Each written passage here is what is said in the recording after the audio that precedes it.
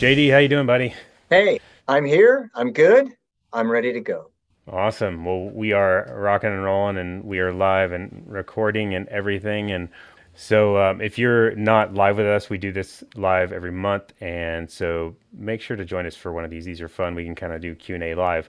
So we're going to be talking uh, about some fun stuff. I love this topic personally, and I know I think it's valuable for many of our audience. We're going to be talking about you know some some big tools and opportunities for physicians to kind of leverage what's out there to help ideally provide more branding for themselves and you know turn the corner in the healthcare system. The healthcare system is messed up and we've kind of talked a lot about that on the podcast and there's a lot of opportunities out there. There's a lot of conversations going on. There's a lot of communities building up and so that's what we're going to talk about today with JD. JD is an expert at LinkedIn and branding. And so before we jump into all he has to share with LinkedIn, I would love it if we could kind of talk a little bit about JD.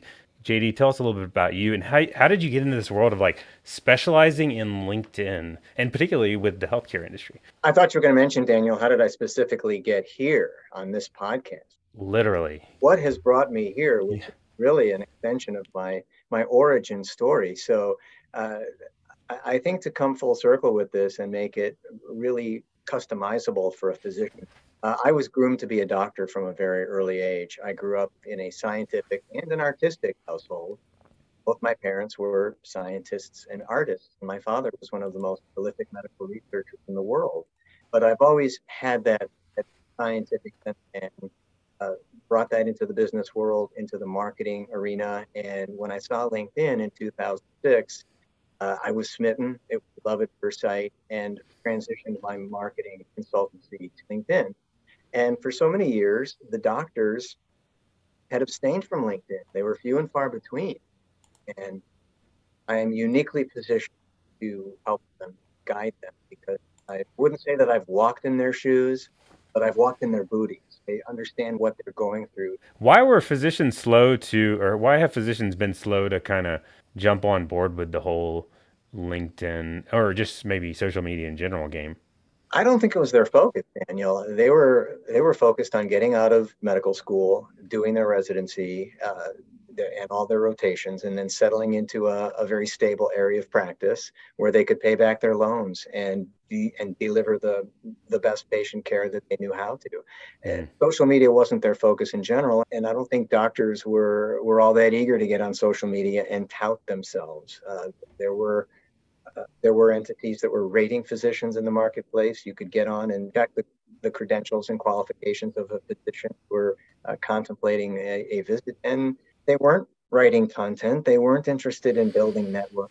They were just going into a, a clinic every day. I was talking with a physician the other day, and they were describing this particular person I was talking with has a direct specialty care practice. In other words, he's kind of like disassociated with the system. Like he doesn't do insurance, he doesn't do hospital. He's just patients pay him directly.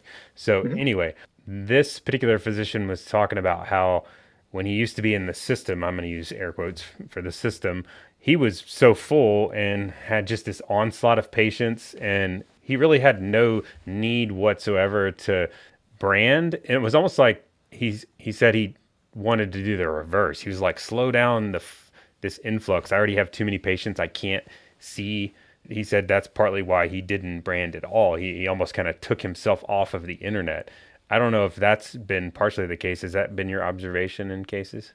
I have noticed that many of my classmates from Chicago Medical School do not have a, a even a baseline media presence. And I've looked for them. I've tried to reconnect with some of them, haven't been able to find them. But to your point, I think they've kind of recollected and reconvened on LinkedIn. LinkedIn has become that place, that destination for physicians because, as you know, with, with the system the way it is, many are uh, are looking outside of medicine. Uh, they felt that they've done enough, had enough. They they now want to follow their muse and, and execute their passion projects or side hustles. LinkedIn has kind of become that medium to absorb uh, a, a, lot of that interest and connecting. Yeah. So for those of you guys that are just joining us, I'm, I'm talking to JD. JD is the uh, is an expert at LinkedIn and branding for physicians, and so we're getting into kind of some of the the reasoning, you know, maybe why physicians have not been as involved in LinkedIn, and uh, you know, there's a lot of different theories, but I think that's been pretty well known is that there's not been a lot of, you know, I work with physicians all day long, and I would say the minority of my colleague friends and clients even on LinkedIn even now today. Like most of my buddies that are physicians and clients are not currently active like today still on LinkedIn. And so I think but now JD you mentioned the word like side hustles and there's these trends now developed in medicine and I think it's partly going back to the system being a mess like the healthcare system is a mess. And so there's also these trends developing in healthcare and particularly with physicians is like I need to get into a side hustle. I need to do passive income you can see it with like the explosion of Facebook groups. There's been these monster Facebook groups that have just exploded in the physician circles around these topics. And I think they kind of revolve around like helping to solve or get away from some of these healthcare issues that are causing problems for them. But it, it seems like that kind of goes hand in hand with their potential interest to get back in involved in LinkedIn. Like this, if I want to get it into a side hustle, that kind of starts to push you down this road of like, maybe I need to put my name out there, right? I mean, like maybe I need to build a brand or. Well, I think we're seeing a lot of physicians elevate their profiles. There's no question about it. I, I think that that has been a, a, a nice byproduct of, of the pandemic. It has kind of uh, forced us to reconcile the value we bring as professionals. And I, think it's given physicians a certain autonomy. They, they have been under the gun, under the microscope, no pun intended, and, and they have been tagged compressed by the system. And many of them now are, are liberating themselves. We're seeing the rise of the of physician leader, mm-hmm. people who are leaving medicine to to work on medical paths and, and just kind of be their own boss for a while and not have to feel so overburdened by a healthcare system that has it's really showing its vulnerability right now. Mm-hmm. And, and they're showing their human side basically LinkedIn is a very humanized medium, and they're out there as business people, professionals, but they're also showing their their delicate underbellies now. And I, for one, I appreciate that, and I applaud it because for for so long they had to be leaders, they had to be content types, they had to go in there into the exam rooms and and listen and, be compassionate. And whereas they still retain that empathy, they're channeling it in other ways in the business world. Mm-hmm. It's nice to see, to be honest. Yeah, I agree with what you're saying. I think though, before we dig too far into LinkedIn, it might be helpful to talk about like why LinkedIn, like why social media, like why should a physician? I know physicians are busy and all of us are so busy and it's like got a million things going on. So why should I be as a physician having a LinkedIn profile versus having Facebook versus not doing anything at all?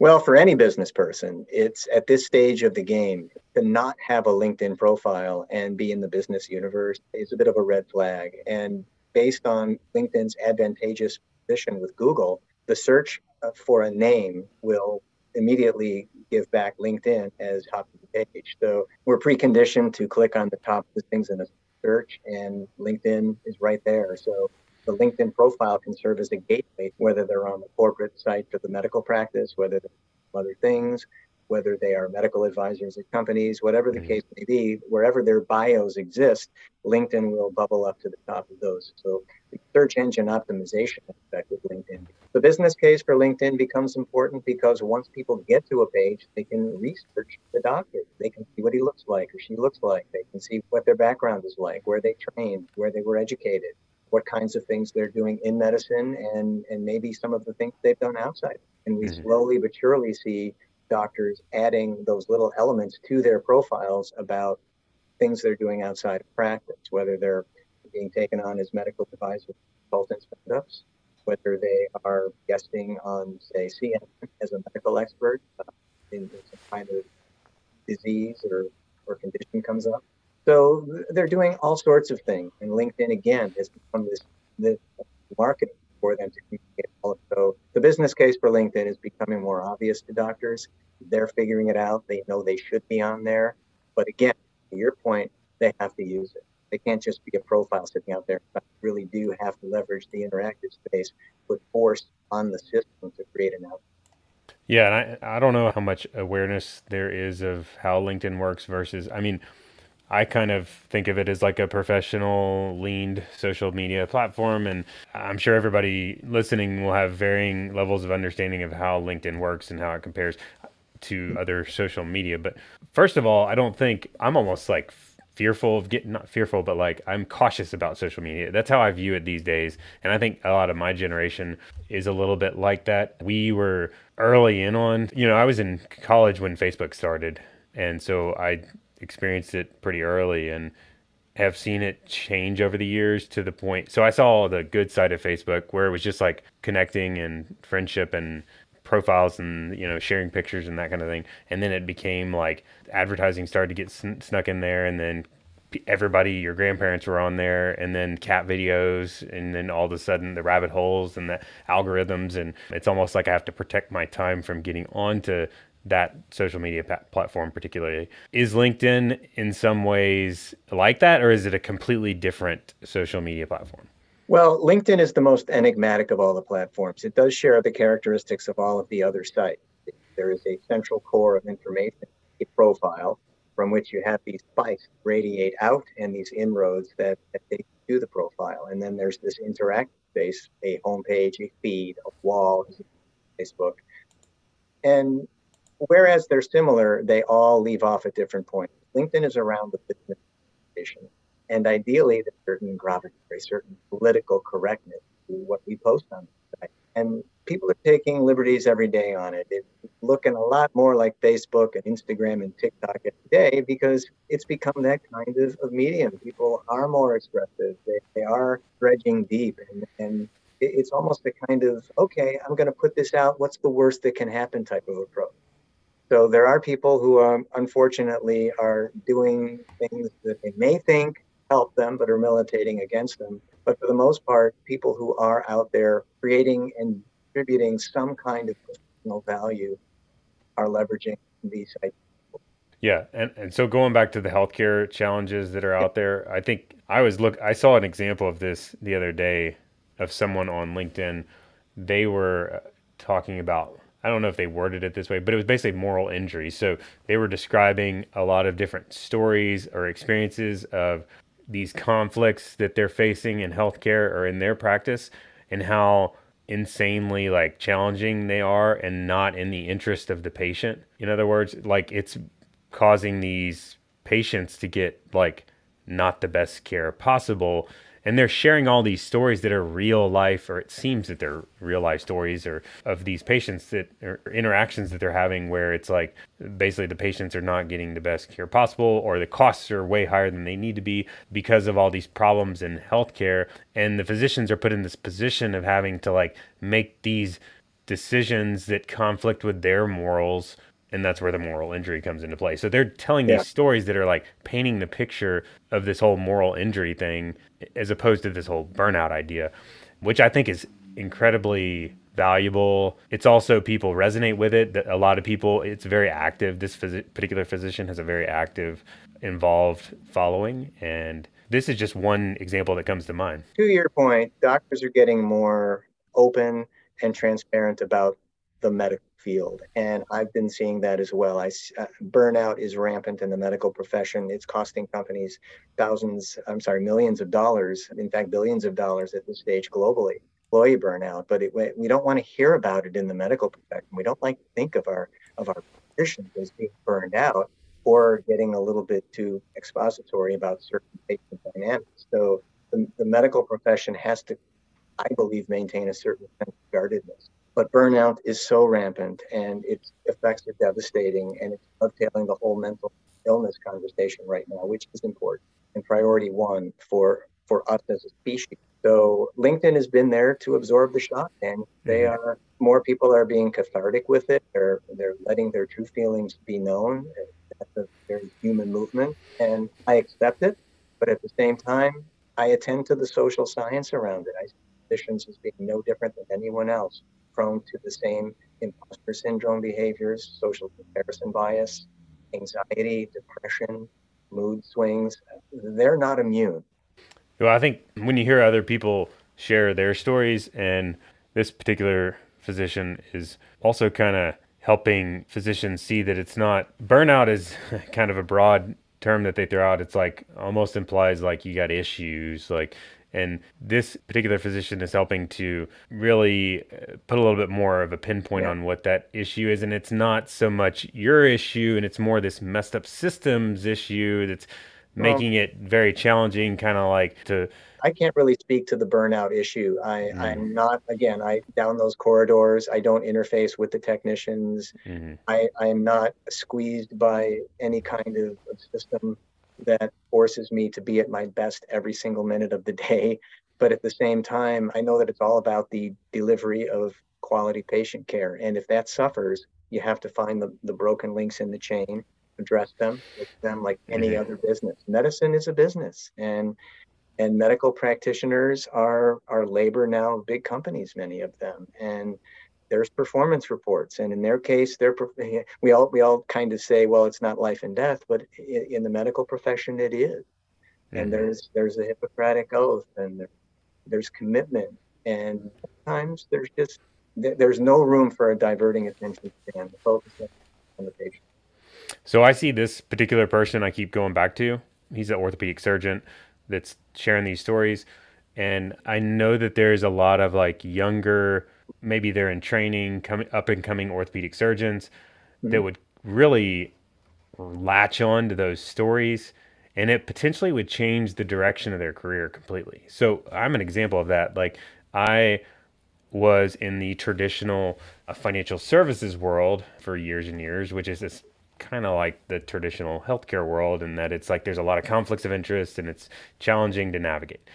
And so I started to kind of follow some voices in our industry that were doing it a little differently, including on LinkedIn, and started to kind of latch on to some of the uh, unique ideas they had. And ultimately, that changed, completely changed 180 degrees the direction of my career, way for the better. And so I think the same thing is happening. It's the only social media platform I've seen that kind of professional, like community developing is LinkedIn, like this. Yeah same sort of thing is happening is starting to see happen in, with physicians. It's like these stories of people that are very admirable doing it the right way looking out for the patients like fighting the good yeah. fight people and they're sharing their stories. You just have to get on there and go follow them really. Well we're also seeing the creation of a huge advocacy system for physicians. You've got physicians coaching physicians, physicians supporting physicians. There are a lot of validation behaviors and support seeking behaviors going on on LinkedIn in any profession right now. We all want to know that we're on the right track, and that's the value and purpose and advantage of community. And the doctors are finding theirs, and there are more people who are are holding space for doctors to talk about their issues, to really kind of come clean about what they're feeling and how they can be the best practitioner. And we're talking about physicians that want to stay in medicine and they embrace all that's good about the profession and the field and they, they, they are crusading against the oppressive nature of the system. And then there are folks that are looking elsewhere. They may be keeping a, a, foot not so firmly planted in medicine, but they're looking to write books. They're they're looking to engage companies. They want to do wellness programs for corporations. They want to be media personalities. They want to start podcasts. They want to guest on podcasts. So maybe that's the next wave of medicine where doctors who are leaving the profession are now going out and being advocates for other physicians and also being uh, sources of nurture for young docs coming into the market. So the preservation of medicine as the noble profession that it is, it's very important. And I know many physicians taking that role and taking it seriously. Mm-hmm. I hope some of them stay because I need a doctor for my future and my. We all do.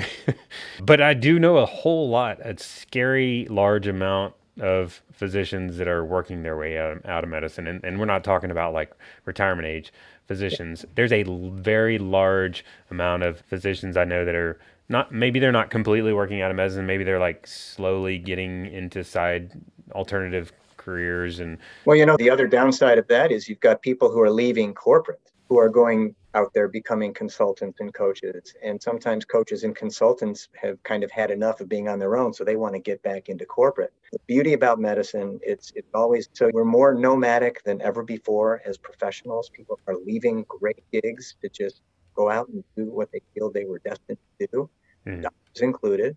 And ideally, they they they're still bringing the mindset of the healer whatever it is they're doing, whether they're teaching, whether they're writing, whether they're giving broadcast. So, uh, educating people, making them aware of, of what to expect in a medical career. Yeah.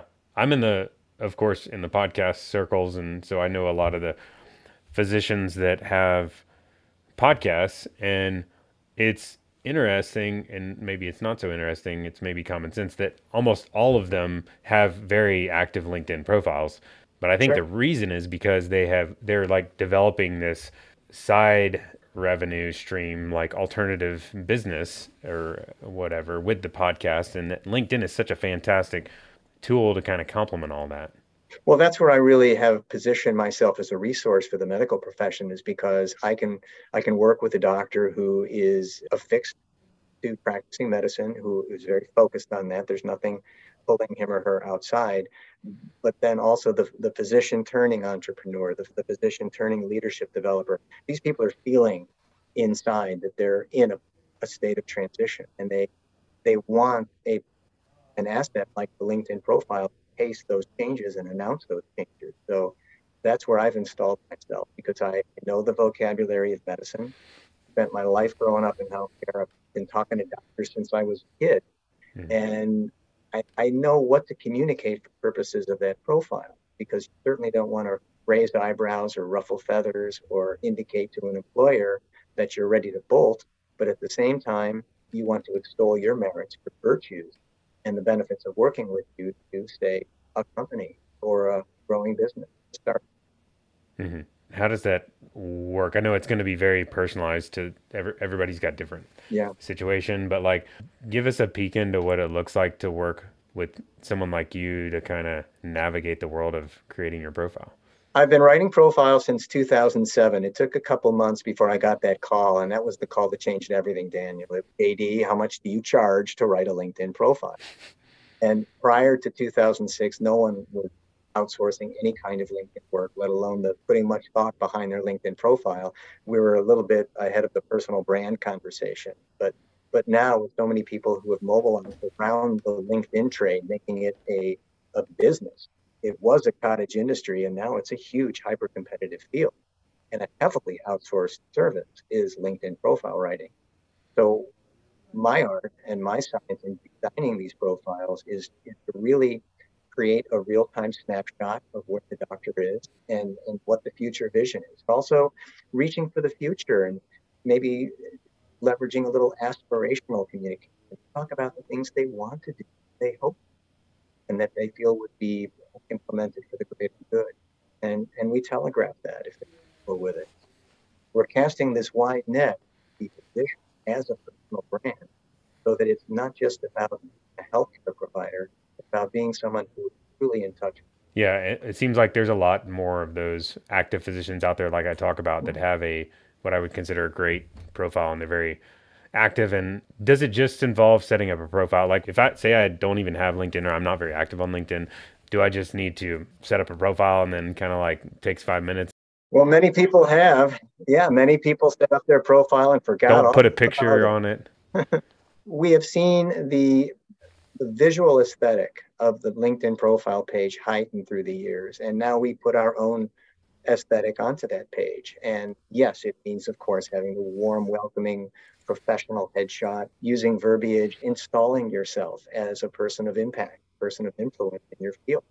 And that takes a little doing because, on the one hand, you don't want to tout yourself over the top. You don't want to go too testimonial, but at the same time, a little bit of, of personal selling, a little bit of personal marketing. We're all marketing ourselves. We are we are trying to reach the people we can serve and the people who keep coming back.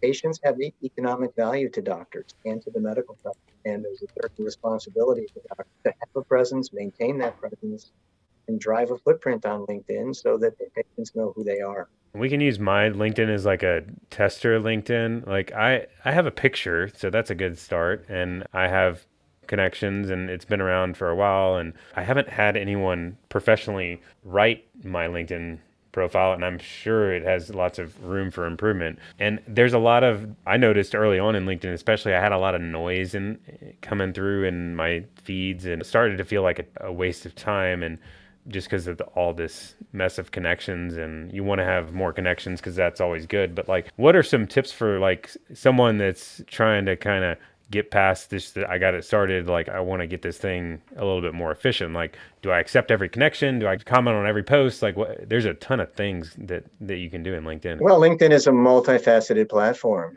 and whereas i'm not really the tips guy there, there are plenty of people out there doing tips but i like to take a look at this from the, from the overarching perspective of, of making incremental gains. You can't do it all at once. If, you press anybody out try to configure a LinkedIn profile that really sells them in, in, in real time, it takes a lot of thought, a lot of introspection, a lot of self assessment to move forward on LinkedIn. Read your profile every day, even if it means adding a sentence, taking out a sentence, kind of plugging and playing a little bit. I think we all have our descriptions that remained with us throughout our whole careers or how our patients feel about us. I look at what others are doing to a certain point, but I I self crowdsource. What doesn't feel right to me, I won't put it there in my profile. So the profile is one piece, the social engagement is another piece, and really seeing who inhabits your professional network and moving your mindset from that schematic of a network, which is a bunch of names and thumbnails, to a living, vibrant community. So that's what I try to do is see the person underneath the profile. Yeah, I think you also have to figure out or always be thinking about what value you want to add. And this is a lifelong thing. Like, what do you want to be when you grow up, I guess? Yes. what unique ideas do you have? Do you want to do some public speaking on the side or do you want to shift into a having your own practice? Do you want to create a new way of doing healthcare? Do you want to get into a completely different industry? Like that's probably the first thing is like where do you want to take your life professionally, especially like what do you value professionally? Like who are the type of people you connect with? That's also another good starting point. I have gotten a lot of traction from LinkedIn by really looking closer at these people that I like the guy I was describing earlier, the physician, the orthopedic surgeon that has all these great stories. Like going onto his profile and looking at the people that are interacting with him, that's a great or there's a much higher likelihood they're the type of people that are going to resonate with what I like in his profile or his interactions, his ideas. Well, that's where we're moving from network to community because we are we are seeing the people underneath, and we LinkedIn users have accepted invitations. We have extended invitations. We've built this community, but is it a real community if you don't know who people are in it? So the more you look at these names, the more you look at these profiles the more you reach out to people. And the direct messaging portal on LinkedIn is really where the rubber meets the road these days because that's where you really assert force on the system, conversational force on the system. You can't achieve an outcome. You can't impact a decision, inform a decision, unless you you reach out or you're you're react. And once you get out there in the interactive space, anything can happen. Get mm-hmm. found, get noticed, people might be interested in the services you have, the perspective you bring. And the key is to get them in off LinkedIn conversation, exchange ideas, talk about mutual benefit, cooperation, co-creation. And then you start to feel that sense something's really happening. Yeah, it's kind of like finding your tribe. If you find your people, say you're interested in, like I was referring to earlier, like practicing direct care, and you find yeah. people on LinkedIn that are already doing it really well, and you connect with them and then you start to interact with them one on one, like most of the time, or they're way more likely to want to really interact with you. They're going to love talking about it and love that you're asking them questions about it. It's their big idea themselves, and they're like, "Oh, that's." There's some other people that are kind of jumping on to the bandwagon. There's a lot of uh, that's like community building. You uh, you right really there. start to see what's happening in medicine as a microcosm of what's happening in the business world at large too. That's that's all that business people have done on LinkedIn, and physicians are, are covering it now, and they are exploring ways to build community through LinkedIn engagement. Several of my clients who are prolific speakers and lecture, lecturers at symposia and they're traveling and they're they're talking about whether it's physician burnout whether it's talking about advances in their field and that's another huge piece of linkedin to glorify the career profession through the profiles and talk about being at the forefront of advances in technology ai all these exciting things that are playing into the medical field now. But the posts that doctors are putting out there which are basically for doctors and the communities that they're building they're starting to take on shelf lives for, for days, not weeks. And they get a lot of and, and a lot of really great ideas exchanged, It's common, And I study those and I comment where I feel I can, where, where I feel it's my spot, not just comment for comment's sake, but that's how you kind of nestle into the psyche. Kind of buttress in. It's what we call propinquity. You're kind of sidling up to to others on LinkedIn and forming parasocial relationships. So both parties kind of get the feeling that they know each other somehow just by engaging on. It's amazing. That's how LinkedIn and all the platforms. you get the idea that we really know these by what they're writing and by being on their profiles a few times. And uh, when you build a relationship and work very hard to expand a conversation, that's where things start. And that's where you really get the feeling that no longer a network community and you're talking M to M, mind to mind, or H to H, human to human. You're talking about some of your clients, and I think stories are really good eh, to to kind of hear stories of people doing it the right way or seeing positive results. Mm-hmm. Do you have some specific stories, not names and everything, but stories about clients or people you know that have kind of gone through this transition where it's helped them turn the corner? Every physician that I'm working with right now is undergoing some kind of, of transition. And that doesn't mean that they're leaving the profession, but they have worked long and hard to get to where they are. And I rally behind them in that respect. I want to tell their story. And I approach them from the viewpoint of a broadcast journalist. I have extensive experience in, in broadcasting and in journalism. I'm, I'm really there to get their story. I'm going to ask you to predict the future. LinkedIn seems to be, uh, I haven't seen the statistics on it, but I remember it not being massively growth. The percentages not huge on number of new users and that kind of thing. And, but I just feel that it's much more niche focused and not a great comparison to other social media necessarily. I believe that the clutter is only going to get more intense. LinkedIn is growing at, at a in an exponential rate. As we sit here today on February 21st, 2023, it's at about 840 million users. So it's on its way to a billion users. And it it's absorbing a lot of the overflow from people who have had it with Facebook. There are many people that just have given up on the other platforms. And LinkedIn, to its credit, is the top of the heap. They have spot some of this scrutiny and, and problems that the other sites had. Save for a few security breaches, LinkedIn has withstood every test it's given. So I think that more and more people will activate, more and more people will awaken to creating and distributing content, more podcasts, more than we could listen to in a hundred lifetimes. There'll be more people who want to guest on podcasts. There'll be more call for physicians in the AI space and technology kind of weaves its way through the metaverse. I think you're going to start to see more and more docs become involved with that. You're going to see more docs looking to each other for support. The rise of the physician coach, the uh, the, the physician consultant, and uh, they're kind of galvanizing themselves again to this period of incredible, remarkable change. And LinkedIn seems to have kind of flexibility and elasticity change communicate everything that's on the horizon. And that's where I like to be. I'm more of a futurist than I ever was. Before. I really do try to think one, if not two steps ahead.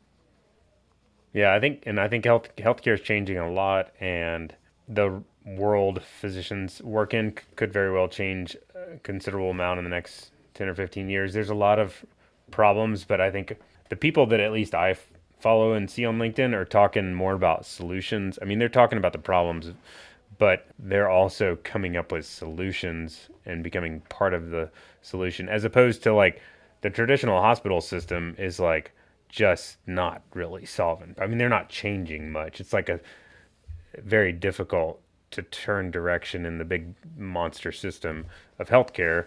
Whereas when you look at these individual physicians that are kind of, or even groups that are banding together and communities with all these ideas, they're really. Well, the future and the revenue is in innovation. And that innovation more welcome than in medicine. And an individual or a group can come up with an invention, device, a service, an app that saves lives, improves the level of care, unifies families in the face of healthcare crises. I think there are people that wake up every day adrenalized to accomplish that kind of thing. And I support them, applaud them, and I'm there for them. Yeah, and that's the kind of platform you want to be involved in is if you're trying to work on solutions. I think mm-hmm. that's a difference I noticed too is in any other social media. I don't know. It's not professional. LinkedIn is very professional focused and it's also more entrepreneurial and entrepreneurs are all about identifying problems but then also solving them. Yes. True. And that Taking is, risks around them it's a risk to say here's the problem here's my idea to solve it and then yeah. go put the thing the thing out there that you're going to do to solve it that's yeah scary. And, and it's a risk to walk away from medicine and do that full time i mean is a physician willing to exit and forego a 200 250000 dollar annual salary to toil in anonymity for a while and play on the hope that maybe they can get some funding for a project or the invention of a device. I mean, there's there's a lot associated with entrepreneurship that it can be a very cruel and frightening world, wrought with peaks and valleys and ebbs and flows and sleepless nights and wondering if they're doing the right thing and second guessing themselves, but as opposed to the stability that a medical career does provide. And mm. so the, these docs are taking a huge leap of faith. And in so doing, they become leaders by example. They they take medicine to uh, almost another plane, uh, another level of, greatness and nobility. And that's what I'm I'm interested to see how that plays out. And LinkedIn is going to play a huge role in that. Yeah, my prediction, if we're going to make predictions about the future, I'll make mine too. My prediction of the future of physicians' practices is that there is a bigger shift because lately, or, you know, the past, whatever, years, it's been a shift towards physicians working for the hospital systems no longer being self-employed but selling their practice to the hospital system or just starting with the hospital system. I think it's going to flip-flop completely where physicians are going to go back towards their entrepreneurial like not necessarily creating this grand awesome new idea but just like practicing medicine in their own practice. Yeah or maybe disassociating with insurance. That's what direct care is like getting away from the system. People who work in restaurants they they're not looking to innovate. They're going in to create the best food they can that day and they do it the next day and the next day and that's the heroic system. and if you extrapolate that in, into the, the world of the physician the best physicians just go in there every day and they walk down those halls and they see the patient and they're besieged by this rep or that rep during the course of the day. They've got to put up politics of the healthcare system. But you know what? When it's time to dispense healthcare and see a patient and be an active listener, and now we've got telemedicine and be, being diligent on the telemedicine side, wherever in the lead, just dispensing good medicine is heroic on a day-to-day basis. And that's also worth communicating on a LinkedIn profile. Yeah, we got a question from Ricky Good to see you here, Ricky. And this is a this is a good question. He's asking about LinkedIn potentially being used for evil. He's sharing an example of his buddy who actually took advantage of him, and he's a Northwestern Mutual financial advisor and has a fantastic LinkedIn profile. And that's kind of like the corporate, when I was describing the financial world, they're like the corporate system of financial services. So this guy's got a, apparently a great fantastic LinkedIn profile, but it's allowing him to sell more of this crappy product that he took advantage of him with. Is there any way to like avoid this or limit this negative aspect? There are bad actors everywhere. Yeah, there's a lot of them in this world. I know exactly the world he's talking about because I came from it. and there's a large amount of them. It's kind of like the healthcare system. Like there's a lot of problems within that world, and unfortunately, they are really good at having fancy LinkedIn profiles. Well, I can't speak to that. I speak to LinkedIn for the greater good, and there are plenty of, plenty of folks out there that pollute, and contaminate the landscape. I think what you have to do, where there's darkness, you got to shine the light on them. And I think, and that's partly what I've done because I happen to have worked for this company he's talking about, and I know a lot about this particular use case. And I think the same is true in healthcare. And it goes back to the example I was describing earlier. When you can share the stories, the real stories of why this is such a problem and why it's bad for people, and talk about it in a platform, that's where it's at. And you can shine the light on this kind of thing and so I think yeah. the motivation for me is to like that's more motivation for me to be loud on LinkedIn essentially, like to get more involved. Well, it really speaks to the virtue of building a organic, tightly knit, cohesive community, which is what I espouse and, and how I teach LinkedIn. You, we do have the ability to block people if there was a legal issue, if there was anybody that was defamatory or compromising on LinkedIn, those are legal problems that can be reported to LinkedIn. I love best practice. That's my conversation. My conversation is about developing trusted relationships. If there's any hint that the relationship will not bear or hold trust or blossom in any way, disconnect. Get the hell out of there. Life's too short, man. I I'm out for eliminating any and all toxicities in my life. So it's kind of like you could use the example in healthcare. It's like insurance companies, health insurance companies have really good LinkedIn profiles and put in a put a lot of like fancy content out there. And I believe that they have a, a lot of conflicts of interest that sometimes can cause them to do evil things. And so I have much more faith in the physicians themselves and the more involved they can get and put out like really good content and shine the light or share unique stories about why that's a problem and why that's an evil and why the other side of the story, I think that's going to be a big opportunity for something like this is to kind of because right now these big insurance companies or the big hospital systems they have big budgets for this kind of thing but linkedin kind of evens the playing field. Like they allow like the guy the one person that can speak pretty well and is very educated to compete essentially and potentially get a lot more action than this big huge monster insurance company that because that's the thing I noticed about this the insurance world if we're talking about that. Their content is terrible. In a lot of cases it's not any good. It's not very personal at least. And they're the industry that linkedin is set up to help the most and in many cases they restrict them the most especially if in financial services if someone is selling investments or servicing in the in the equity market LinkedIn is very restrictive. Securities Act of 1940 and FINRA and compliance and all of that. But again, when you're speaking about virtue on LinkedIn, that's that's where you'll find me. I can't speak to the unscrupulous behaviors. I can't stand them. I see so many predatory sales behaviors out there on LinkedIn. Write about them, speak about them. There's no way to avoid it. People are going to do what they're going to do, but mm-hmm. fortunately, you have ways to dim them down, make them fully opaque in your life, and operate from a sense of purity, which I think is very mm-hmm. important on LinkedIn. Yeah. Well, I know we're getting to time. As we're wrapping up, I would love it if you could share more about your work and your business and how, how people can find you. I know, of course, on LinkedIn, he's got a great LinkedIn profile. If you want a great definition of a LinkedIn profile, like just go to JD's profile and like look at his, and you know that that that's a great. Start. You're very kind, Daniel. Thank you very much for that that beaming testimonial the, the difference between me and any other LinkedIn user is I saw the value of this thing right away. And all I've done since 2006 is communicate that value in one way or another, whether it's through written word, spoken word, through my profile, things that I do, the leader by example. So my, my work today is, is helping good people flourish on LinkedIn, committed people who, who have an idea, who, who have vision, who want to change the world for at the risk of sounding cliche. And many of those people are in medicine. And I've been waiting for the opportunity to work with doctors. And I've been in in the months leading up to our taping here through the pandemic, where I started to see physicians kind of infiltrating LinkedIn. I did, I designed a proprietary model, extended my methodology to them because that's that's where I've lived. Lived in the medical profession since I was a kid, but I've never practiced medicine. I know what's at stake for the docs right now. I know what they want to do. They've got hopes, dreams, ambitions, and I can co-create with them.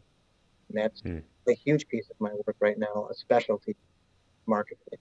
Yeah. Well, definitely go and check out JD's LinkedIn profile and, and have a LinkedIn profile. If you're listening to this and you don't have a LinkedIn, that is an important first step. Let's start with a LinkedIn profile. Yeah. And then follow JD first. If you don't follow me, follow me for sure, but follow JD. follow Daniel and you'll get to me. I'm I'm, bas- I basically hitched my wagon to his star. It will be like second connections and then first connections and then yeah. that, that'll all work out. Exactly right. Now I want to thank you, Daniel. You kept my head in the game on this and you posted admirably on LinkedIn in the days within our, our taping here. And that was a, a nice use of the site. It remains to be seen. And I don't really pay attention to metrics, to be honest with you. I, I feel that a piece of content like this has a uh, has eternal life, depending on how often we we come back and promote it. So if people didn't see it when it was happening live, we have the ability to get in front of them down the road. And thank you for for the interest. Thank you for veering away from your your world of, of finance and medical practices to, to have little old me on. Oh no, it was good. It, I've enjoyed our conversation and look forward to staying in touch. JD, as always, a good conversation. Thanks, man.